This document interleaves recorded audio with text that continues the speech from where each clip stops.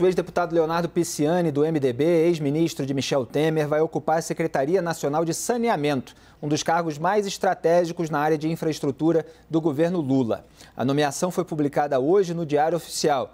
Pisciani foi indicado pela bancada do MDB na Câmara e será abrigado no Ministério das Cidades, comandado por Jader Filho, que é do mesmo partido. Leonardo é filho de Jorge Pisciani, ex-presidente da Assembleia Legislativa do Rio e um dos maiores aliados do ex-governador Sérgio Cabral. Ele foi presidente da Comissão de Constituição e Justiça, a CCJ, e atualmente está sem mandato.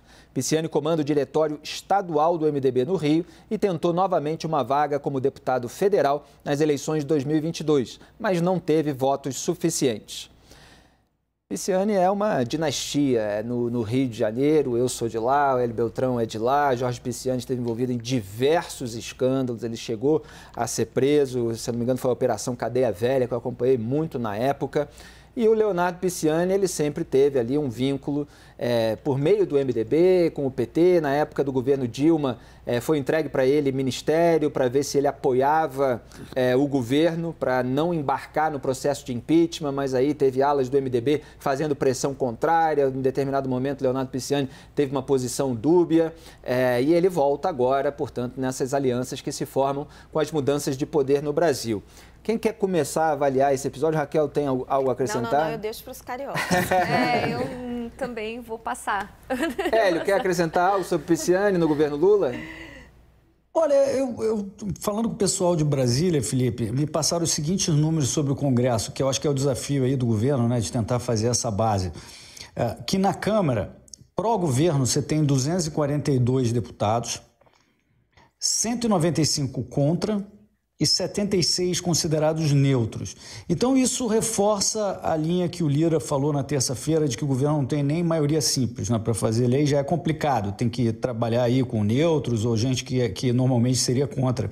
No Senado é mais confortável, os números que eu obtive foram 46 senadores pró-governo, 28 contra e 7 neutros. Espero que esteja somando 81. É, Uh, Felipe, então o Pisciani está também nesse jogo de buscar a aliança, né? essa base para provar o que o governo quer. Assim, eu fico com duas dúvidas. Primeiro, essa, essa dança das cadeiras e de, de acordos uh, para formar essa base, eu não sei se isso aí é bom para o Brasil ou não, deixo a dúvida, mas eu suspeito que se formar essa base para passar as leis que o PT e o Lula querem passar, aí eu tenho quase certeza que a maioria é, realmente é, é pior para o Brasil. Porque eles querem mexer nas leis estatais, né, gastar mais, é, remover a autonomia do Banco Central e outras todas que a gente já comentou na Arena várias vezes. E o Pisciani está um pouco nessa, é, ilustra um pouco dessa negociação, Felipe. Eu acho que é essa dinâmica que está acontecendo agora para o PT tentar obter pelo menos maioria simples. Agora, PEC, você veja que por esses números, se eles estão corretos, essa avaliação, se estiver correta, PEC já é bem mais complicado de passar. Né?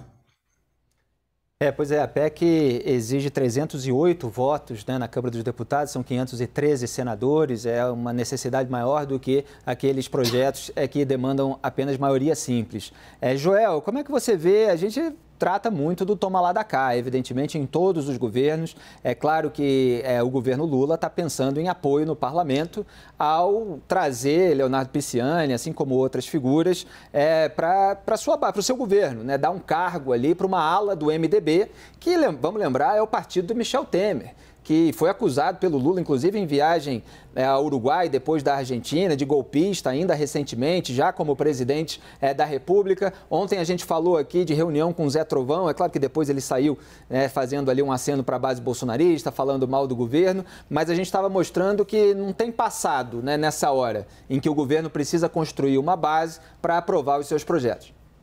É claro, isso é uma imposição que recai sobre qualquer governo no Brasil um país com um Congresso que tem muito poder, um Congresso fragmentado em muitos partidos também. O partido do próprio presidente jamais vai ter maioria, isso é muito distante. Então, esse tipo de composição se faz necessário. E é um tipo de composição que, de outras maneiras, acontece em todas as grandes democracias. Por quê? Porque grandes democracias juntam muitos interesses diferentes, muitas visões de mundo diferentes. Isso é um exercício da política. A minha preocupação é, primeiro, em que, em que termos se dá essa composição. Será que eles são dentro da lei ou será que eles são fora da lei? Aí tem que cortar pela raiz, tem que ser preso e punido. Se ele se dá dentro da lei, ele se dá de maneira puramente fisiológica ou de maneira propositiva, pensando em agenda, pensando em compor uh, com grupos ou com deputados dentro de um partido. O partido talvez não seja próximo de você, mas aquele deputado trabalha um tema, ele pode trabalhar junto ou você vai ceder alguma parte da agenda daquele porque aquele partido pensa uh, e, e, defende uma certa pauta num certo assunto, mas no outro assunto ele está disposto a conversar e trabalhar junto. Esse tipo de negociação, quando é em cima de agenda, me parece uh, positiva. A gente sabe, no entanto, que no Brasil é basicamente a negociação, mesmo quando dentro da lei, em termos puramente fisiológicos, do interesse de cada partido por recursos que às vezes vão se dar fora da lei, às vezes dentro da lei, ou por cargos e para ajudar o partido a se reeleger e se perpetuar no poder ao longo do tempo. Né? E a consideração final: o que, que o governo espera ter com esse tipo de composição? Qual é a agenda do governo?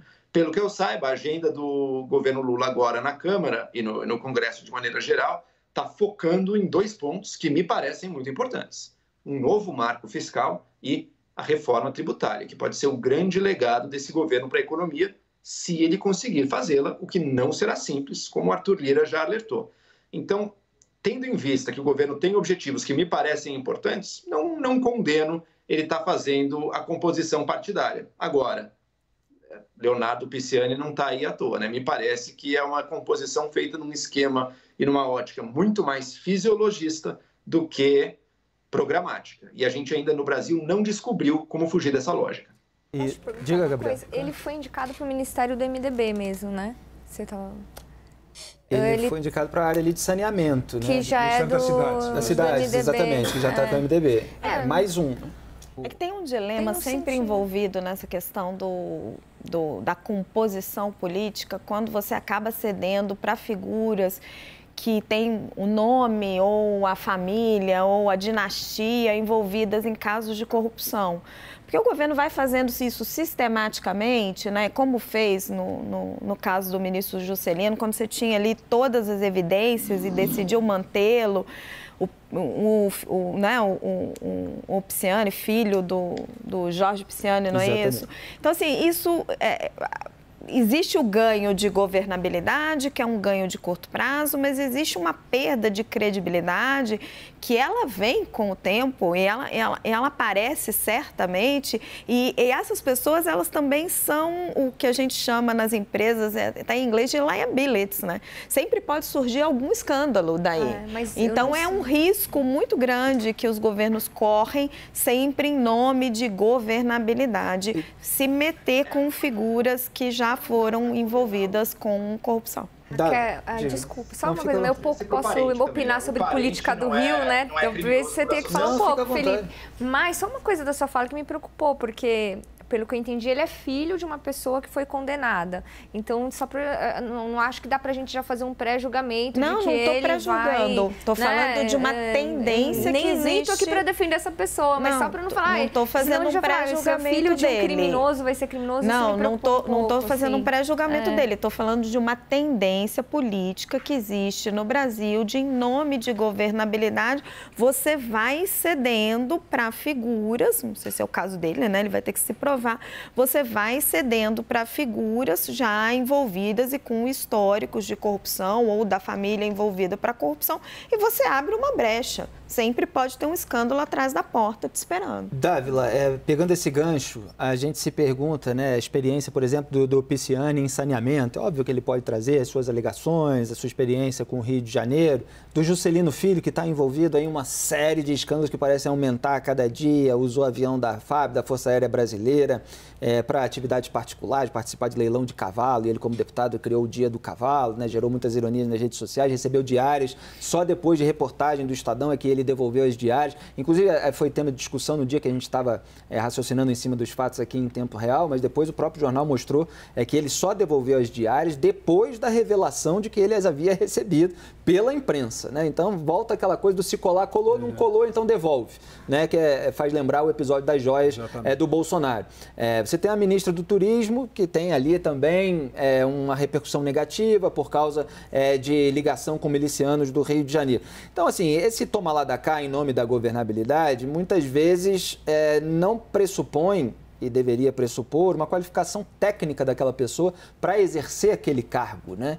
E isso tem consequências para o Estado brasileiro. Não há dúvida, Felipe. Bom, dois pontos importantes. Primeiro que essa, esse fisiologismo, essa acomodação de cargos, não está trazendo o que o governo quer, que é votos. Se você estivesse fazendo tudo isso, loteando como ele está loteando o governo, e chegasse a ter os votos, tudo bem, tem um trade-off, mas não está acontecendo. Está cada vez loteando, mais segundo escalão, terceiro escalão, está loteando e o voto não aparece.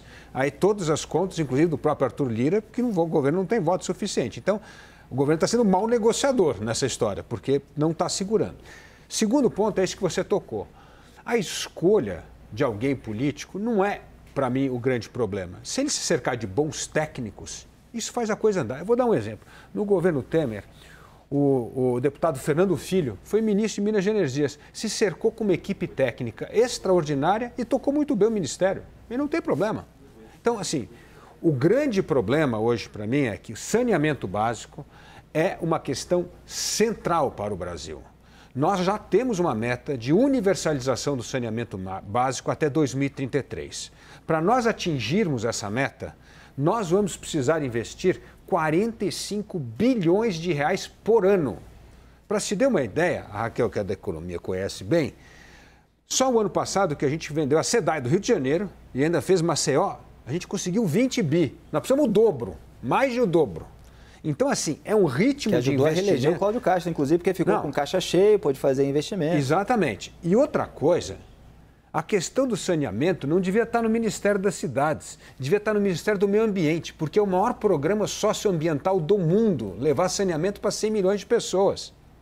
Então, tem uma questão que é, não vejo esse governo priorizando a questão básica do saneamento. Conseguiu os 45 bilhões, fazer com que o marco, a regulamentação do marco do saneamento básico, que é outra coisa que está colocando em risco os investimentos nessa área. Pelo contrário, né? Tem uma discussão de modificação e, e eventual reversão. Uma modificação perigosíssima, marco. que é não permitir, ou seja, permitir apenas as empresas privadas a participar da licitação. E quem é empresa estatal não vai precisar participar de licitação. Isso você mata o marco do saneamento básico. Então, os sinais importantes que o governo deveria estar dando agora é que vai levar a questão do saneamento como algo fundamental, assim como a reforma tributária, porque isso depende de investimento privado, regulamentar o marco, que é vital para o Brasil, e colocar gente técnica para fazer com que esses 45 bilhões de reais ano que nós precisamos será cumprido para nós atingirmos a meta de 2033, que é uma vergonha um país como esse ter metade da população sem saneamento básico. A gente só tem um minuto, Gabriel estava anotando aí para falar, não? Não, estava já fechando meu caderninho. é, Joel?